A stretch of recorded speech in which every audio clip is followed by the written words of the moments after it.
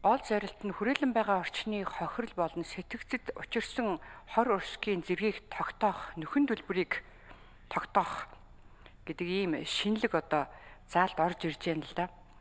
Тэр энийг ер нь яаж хохирлыг тооцох юм бэ? Нөхөн төлбөрийг хэрхэн тогтоох юм бэ? Энэ аргачлалын талаар нэгдүгээр тайлбар өгөөч. За хоёрдугаарт энэ анхаарал татсан бас энэ заалтууд байна л да.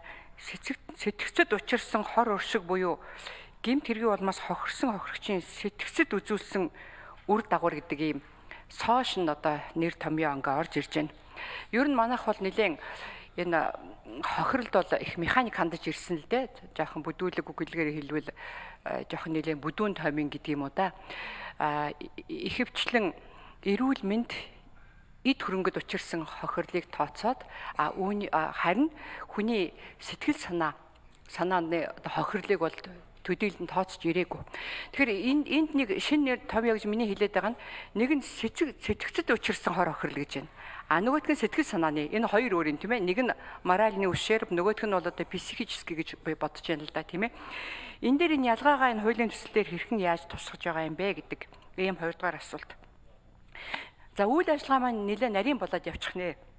Тэгэхээр боловсон хүчний бэлтгэл ихээр хангагдсан бэ? Хүний нөөцийн байдал ямар байгаа вэ? Энэ нарийн одоо үйл ажиллагаа руу манай шиг шүүх шилжлэгээний байгууллага маань ороод явах нь. За дөрөвдүгээрт энэ хор хохирлыг тогтоохтой холбоотойгоор одоо төлбөрийн асуудал яригдэн тийм ээ. За нэг хэсэг дээр насанд хүрээгүй хүүхдэд учирсан одоо хохирлыг тогтоохдоо төлбөр авж яах гэдэг нэлээ яриа хөрөө болоод тухайн үед засгийн газар дээр бас шийдвэр гарч ирсэн л да. Энэ дээр энэ хохирлыг тогтооход төлбөртэй холбоотой асуудлыг хэрхэн шийдвэрлэхээр хуулийн төсөл тусгасан бэ? Ийм дөрвөн зүйл дээр би хариулт авъя. Баярлалаа. За гიშгээг Нямбатар сайд ихлэ хариулна. Дараа нь ажлын хэсэг үлж байгаа. За би нэг зүйлийг бас гişүүдтэй хэлээ. Саран гэрэл гişүүн маш чухал асуудал хөндөж асууж байгаа. Өөрөөр хэлбэл бидний сүүлийн 30 жил энэ эрх зүй хөгжлийнхөө хүрээнд хийж чадаагүй нэг асуудал бол энэ сэтгэл санааны хохирол буюу сэтгцэд учирсан хохирлыг үнэлдэг аргачлал таблицыг энэ хуулиараа анх удаа бид нар зорж оруулж ирэхээр ингээд зориглож байгаа гэж ойлгож байна. Та хүн мэдэх байх хүн амны гэмтрийн улмаас одоо хүний амнаас хохирсон тохиолдолд ар гэрээхэнд нэг оршуулгын зардал олдвол олдоод өөр бусад хохирлын мөнгө төдийлөн олддоггүй, үнэлэгддэггүй. Хүний нэр төр алдар хүндийн хохирлолтой холбоотой үнэлгээ байдгүй. Гэмтрийн улмаас бусад байдлаар хохирсон тохиолдолд сэтгэлцэд учирсан хохирлыг бид нар тооцдог юм аргачлалгүй зүйн хөгжлийн үед бид нар бас харьцангуй хоцорч явж байгаа. Тэгэхээр энийгээ бид нар нөхөх зорилгоор энэ удаагийн хуулийг оруулж ирж байгаа хамгийн том одоо алхам юм За энэ дээр ямар аргачлал, ямар таблиц ашиглаж байгаа талаар манай сонь зэрэг дарга хэлэх баг. За хоёр дахь асуудал бол хүний нөөцийн асуудал ярьж байгаа. Тэгэхээр ер нь цаашид бид нар энэ шүүх шинжилгээний байгууллага гэдэг бол цэвэр шинжилгээний байгууллага. Хоёр гэвэл зөвхөн эрүүгийн хэрэг дээр шинжилгээний хариу дүгнэлт гаргадагаас гадна энэ байгууллага эрүү иргэний хэрэг хянан шийдвэрлэх ажиллагаа. Захиргааны хэрэг хянан шийдвэрлэх ажиллагаанд нарийн мэрэгжлийн шинжээчийн дүгнэлт гаргадаг. Гаргасан дүгнэлтийг үнэлцэж шүүхийн шийдвэр гардаг одоо хамгийн том ийм байгууллага. Ийм учраас бид нар бас харьцангуй хараат ус бие даасан байдалтай ажиллах нөхцөл болцоог нь хангах үүднээс энэ хуулийн төслийг шинжилсэн хариулга байдлаар боловсруулж оруулж ирж байгаа. Манай хууль зүйн дотоод хэргийн яамны харьяа дотоод хэргийн их сургууль дээр үндсэндээ одоо нэг төрлийн мэрэгчлэлтнэл энэ хууль зүйн дотоод хэргийн салбар бэлдэж чадахгүй байгаа. Энэ нь юу гэвэл шүүх эмнэлгийн шинжээ чимчээс бусад одоо хууль зүйн дотоод хэргийн салбарын агентлагуудын мэрэгчлэтнүүдийг 5 5 жилийн одоо тэр юутаа эрэлт хэрэгцээ захиалгыг үндэслэж дотоод хэргийн сургууль дээр бэлтэж байгаагийн нэг нь шүүх шинжилгээний шинжээч одоо бэлтэх энэ анги одоо төгсөлтөө хийгээд нэлээд олон жил болж байгаа. Тусдаа шинжилэн магадлахын сургууль нэртэйгээр дотоод хэргийн сургуулийн нэгэн бүрэлдэхүүн сургууль болоод явж байгаа. За нэг талдаа дотооддоо ингэж болсон хүчнээ бэлдэж байна. За гадаадад бас бид нар тодорхой хэмжээнд хөрц зэрэгэлдээ орнуудын дотоод хэргийн яамны одоо хамтын ажиллагааныхаа хүрээнд шинжилэн магадлалын чиглэлийн нарийн мэрэгжлийн шинжээ чимчнэр сургаж байгаа. Сүүлийн үед энэ техникийн шинжилгээ ухаан тэр дундаа мэдээлэл технологийн шинжилгээ ухаан кибернетик энэ чиглэлийн одоо шинжээч судлаачид их хэрэгтэй хэрэгцээтэй болсон. Бүгд найрамдах солонгос улс болон бусад яамтай хамтарч ажилладаг байгууллагуудад энэ чиглэлийнхээ мэрэгчлээ болсон хүчнүүдийг бэлдэж байгаа. Зөвхөн нэг асуудал би нөгөө төсвөрөөгөө эргээд очино. Гэхдээ би энэ удаа тэрийг онцолж ярихыг хүсэхгүй байна. Зүгээр хөдөө орон нутгуудад шүүх эмнэлгийн шинжээч юмч тулж ажилдаг. Өөрөөр хэлбэл ээлжийн амралт авсан, жирэмсэн декрет авсан тохиолдолд нөгөө газар нь дараагийн хүн одоо нөхөж ажиллах юм орон тооны боломжгүй байсан сая бид нар өнгөрсөн жилийн улсын төсөвдөр бас нэг юм нөөц ганц хоёр одоо орон тоог нэмэгдүүлж чадсан. А зүйлийн үед манай салбарт хамгийн их дутагдж байгаа зүйл бол ангаахын сургууль төгссөн шүүх эмнэлгийн одоо эмчээр цаашид мэрэгшиж ажиллах ийм болсон хүчний эрэлт хэрэгцээ их ховор болсон гэдгийг бас энд ашрамт хэлье. За сайн зураг тэр таблиц аргачлал шүүхэд шилжиж байгаа эрх мэдлийн талаар нэг тодорхой хариулт өгч. А 81 сайн зэрэг. За сарангэрл гişүний асуултанд хариулъя. За энэ бол эргээд үндсэн хуулийн асуудал байгаа. Хүн зөрчигдсөн эрхээ бүрэн сэргийлэх ёстой. Энийг төр баталгааг нь хангах ёстой.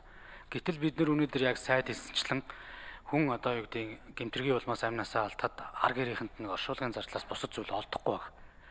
Энэ өөрөө эргээд бас хуулийн эрх зүйн тодорхойгүй орчинтой ч холбоотой Эдид одоо иргэний хуулийн бас тодорхой залтуудаар ингээ мөнгөн нүнгээр барагдуулах асуудлыг хаацсан юм зохицуулт өнөөдөр үйлчлээд байгаа.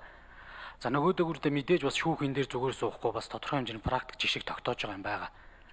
За хөдөлмөрийн чадвараа нэг 70% орчим хувиар алдагдсан бол нэг 10 сая төгрөг гаргуулсан байх жишээний.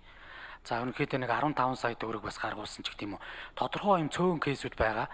За хамгийн сүүлд бол яг зам тэрийн яам дээр бас хүний амь насаа алдсан этгээдэд бол зөвхөн сэтгэл санааны охирлоос гадна бусад одоо тэр тижийн тэтгэх үүрэгтэй холбоотой юмнууд дээр нэг 500 сая төгрөг гаргаж өгсөн ийм шүүхийн шийдвэр бол одоо байна.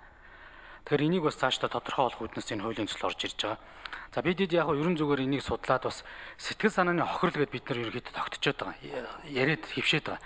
Гэтэл одоо яг сэтгцэн эрүүл мэндийн тухай хуулиа харахаар яг сэтгэл санаа гэхээсээ илүүтэй сэтгцэн эрүүл мэндийн асуудалд нь тэр хүнд асуудал үүсчээд байгаа аахгүй тэр гимтэргийн улмаас хохирлын одоо үр дагаврын улмаас Өөрөөр хэлэх юм бол тэр хүн 50 байж чадгаа байж гин айдаг, ичдэг, нийгэмд хэвээ амьдарч чадгаа байсан байна. Хамт олон хүмүүсийн дунд байж чадахгүй ч гэдэм үү ийм ч очдог, имээдэг ийм зүйлүүдтэй болчоор одоо ийм зүйлүүдийг бол одоо гимтрийн дараа тэр хохирлын дараах үр дагаврыг бол үүсгэж идэг.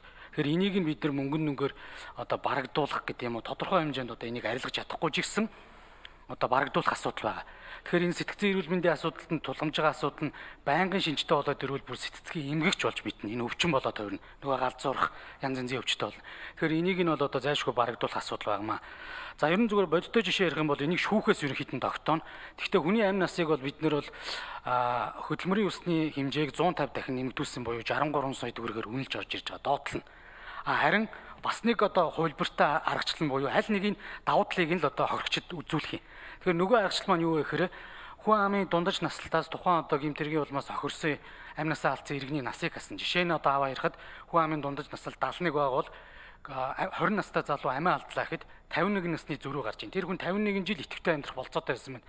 Тэгэхээр энийг нь хөдөлмөрийн өсний хэмжээг 5 дахин үржүүлээд буюу 111 сая 600 мянган цаас жишээ нь тухайн ар гэрт нь олуулах болцоотой байдлаар үнэлж байгаа. Гэхдээ ерөн зөвөр хүний амь насыг бас мөнгөөр үнэлнэ гэдэг бол одоо хэдийгээр учир дутагдaltaа гэсэн дэлхийн нийт практик тогтоогоо явж байна. Манай Солонгос жишээ нь 80 сая воноор за бусад оронд бол одоо дээд хэмжээг нэг 250 мянган доллароос сэтрүүлэхгүй ч гэдэг юм уу. Янз янзаар харилцан ядгүй шүүхээс нь л тогтоодог асуудал байгаа. Тэгэхээр энэ бол мэдээж хит өндрөөр тогтоож болохгүй гэдэг ерөнхий юм зарчим байдаг. Төлөвтгүүц байх ёстой. Энэ зарчмыг л бид нар баримталж байгаа. За энэ шүүх шинжилгээний төлбөртэй холбоотой асуудлыг та бас асуулаа. Ер нь бол бид нар энэ төлбөртэй холбоотой асуудлыг бэлгийн эрх хчлөө халшгүй байдлын одоо эсрэг гинтергийн охирчд А дээрэс нь амьдргааны батлаг баталгааж төвшнгөөс доогуур орлоготой иргэнд за 18 наснд хүрээгүй одоо хүний шүүгшилгээтэй хийлэгтэй холбоотой юм дээр төлбөрөөс бол усын тэмдэгтийн хурамжаас бол 100% чөлөөлж орж ирж байгаа гэдэг зүйлийг бас танд хэлье. За дээрэс нь яг хүрээлэн боо орчны одоо охирлыг тооцохын аргачлал бол холбогдох байгаль орчны хуулиуд нь гаргасан тэр аргачлалын дагуу манай тусгаас нь нэгж одоо хийгээд явах асуудал байгаа ийм зүйлүүд шийдэгдэх юм бол бас хэрэг гин шийдвэр хаашгаа тасралтгүй явагдаж хүрээлэн боорчны эсрэг гинтэргүүдийг шийдэх энэ одоо өнөөдрийн байдлаар л жилд нэг 400-аас 350 орчим хэрэг гардаг ихэнхдээ түдгэлцдэг буюу одоо охирлын хэмжээ тогтоож чадахгүйгээсээ болоод тодорхой этгээдүүд ял завшаад явж байгаа ийм л зүйл байгаа. А энийг нь хувийн этгээдээр хийлгэх гэхээр хохирлын үнэлгээний одоо 5-аас 10% нэгтгэдэг. Тэгэхээр улсын төсвөөс энэ мөнгийг одоо гарах ямар ч болцоогүй байгаатай холбоотойгоор ийм одоо тусгаалсан буюу За саран гэрэл гишүүн тодруулын 1 минут. Тийм шүүх шинжилгээний тухай хуулийн шинжилсэн найруулгад эрүүл мэнд эд материалын хохирлоос гадна энэ сэтгэл санааны хохирлыг тооцох юм шин аргачлал оруулж ирж байгааг бол үнэхээр талархан одоо дэмжиж байна. Гэхдээ миний хэлэх гээд байгаа гол зүйл энэ сэтгцэд учрах хохирол сэтгэл санааны хохирол хоёр өөр л дөө хиллэгэн тэгсэн өөр.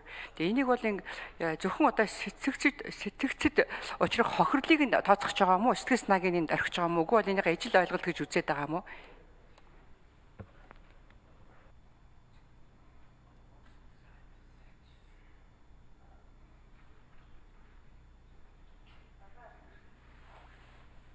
Дахин хариулах уу? 81 сайн зэрэг бүрүү зүгэн сайн зэрэг хариул. За өмнөх асуултан дээр ганцхан зүйлийг нэмээд хариулчихъя. Төлбөртэй холбоотойгоор дээрх этгээдүүдээс чөлөөсөөс гадна за нэгэнт хүн амь насаа одоо алдчихад хахад ар гэрээс нь бас одоо шүүх шинжилгээний зардлыг нэгтгэх асуудал байна. Тэгэхээр энийг тэр хүн насаараа төлсөн эрүүл мэндийн даатгалын сангаас нь одоо сүүлийн одоо үйлчлэгийг л авч байгаа гэсэн үг. Энийг нь бас барагдуулах төлбөр төлдөг байхын зохицуултыг бас орж ирж байгаа. За ерөн энэ хууль зүйн асуудал талаас яг таны ярьж байгаа энэ хоёр ойлголтыг бид нэг гэж үзэж байгаа. Өөрөөр бол эрүүгийн үйл дээр жишээ нь хохирол гэсэн ойлголт байгаа бол хор уршиг гэсэн ойлголт бас байгаад байгаа. Тэгэхээр тухайн хүний нүүрэн дээр одоо ингээд түлэгдээд ч юм уу одоо ингээд шархсор болоод хүнд хохирол учирсан. Энэ хүнд хохирлынхаа одоо юу гэдгийг тэр сэтгэлийн тулгамдсан асуудлаас одоо хор уршиг учраад байгаа. Яг айдаг, ичдэг, нийгэмд хэвээ амьдрах чадвараа алдаад байгаа. Тэгэхээр энүүн дээр нь сэтгэлийн шанал үүсээд байгаа байхгүй. Энийг нь бид нэр сэтгэцэд учирж байгаа хор уршиг гэдгээр мөнгөн нүнгээр барагдуулах энэ чиглэл рүүгээ явъя л гэдэг ийм өөрчлөлтийг бас одоо оруулж ирж байгаа. Энэ бас сэтгцэн эрүүл мэндийн тухай хуультайгаа бас уялдаад байгаа нэр томьёо байна. За Батмөрийн хөрөг шүү асуултсан.